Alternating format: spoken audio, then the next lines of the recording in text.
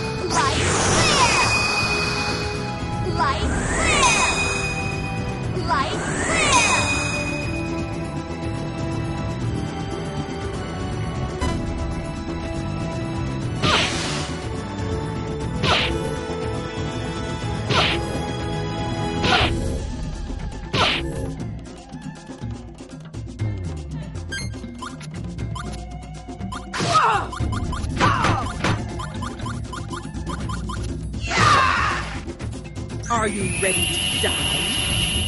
Special attack,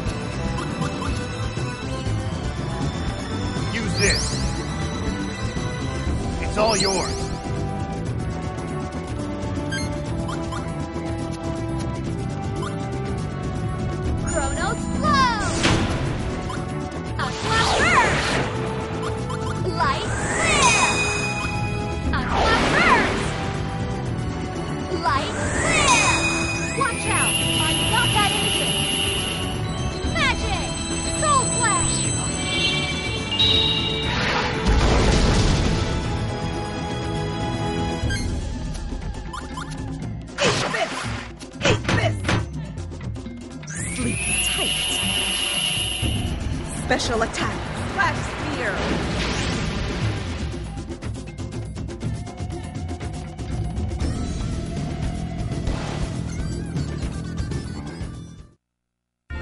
Nothing like a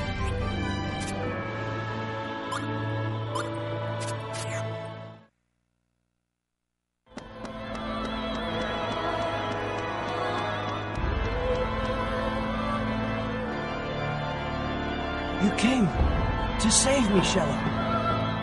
Of course, Lyude. I'd never give up on my friends. Thank you for coming. To tell you the truth, I had almost given up hope and thought I was done for. That all our efforts were in vain. I. I can't thank you enough. It was nothing, really.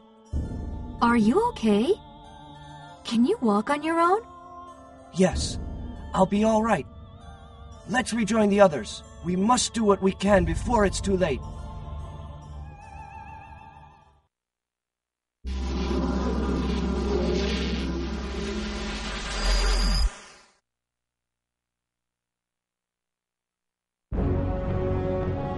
great to see everyone back together. Yes, finally. I'm so relieved that we're all safe. So, what do you propose we do now, Xelha? Let's go back to Anuenue first. I want to let Queen Corellia, King Ladekahn, and Lord Calbren know that I've found everyone. We also need to ask them about any new developments. Right. Let's move out. Time to kick some outer dimensional butt.